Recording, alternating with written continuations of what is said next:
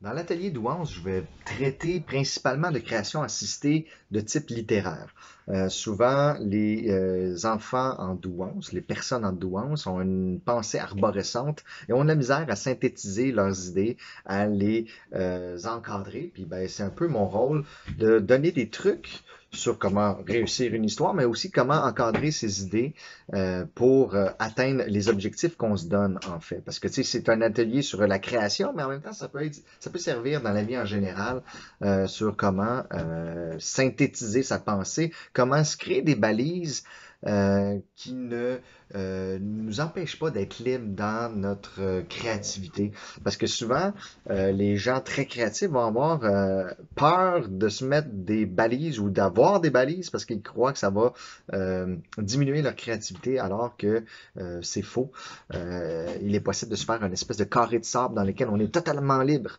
mais ça va mieux quand on, est, on, se met quand même des limites. Donc, ça serait un peu ça.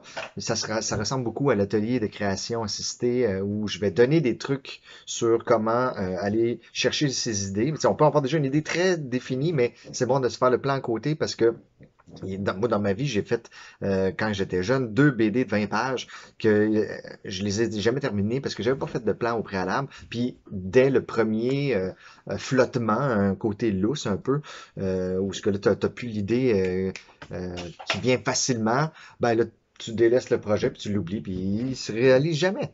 Donc, euh, pour éviter ces moments de, de, de, doute, de flottement, ben, il y a des techniques qu'on peut apprendre, puis c'est un peu ce que je vais traiter dans l'atelier de douance, qui est euh, lié à un projet. Ça peut être des projets littéraires, majoritairement c'est des projets littéraires que j'ai fait par le passé, mais je pourrais aussi faire, euh, ben, j'ai fait des projets aussi de bande dessinée, mais ça pourrait être aussi un projet créatif euh, ça pourrait même être euh, organisationnel, comme un événement même du théâtre interactif, ce genre de choses-là, c'est dans lesquelles j'ai aussi de l'expertise.